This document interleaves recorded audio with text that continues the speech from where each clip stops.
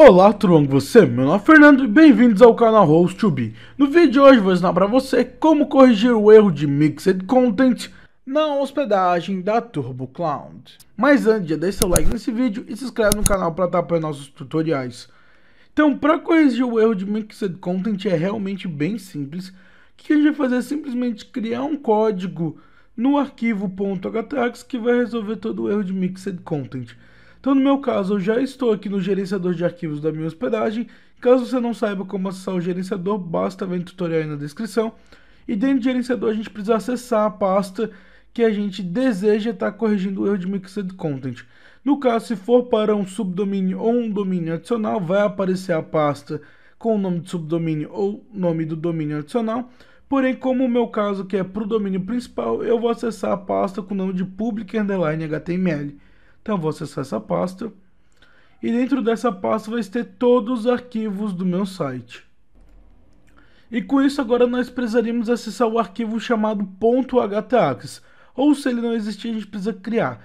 Então, para a gente conferir se ele existe, nós vamos primeiramente vir no lado direito superior, no menu aqui onde está escrito no botão configurações, clicar nele. Em seguida ele vai ter várias opções e nós vamos selecionar o campo onde está escrito mostrar arquivos ocultos .files.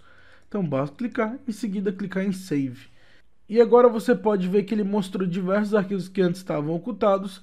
E aqui a gente vê que não tem nenhum arquivo com nome de htaccess, então a gente vai precisar criar. Caso o teu já tenha um htaccess, basta clicar e editar.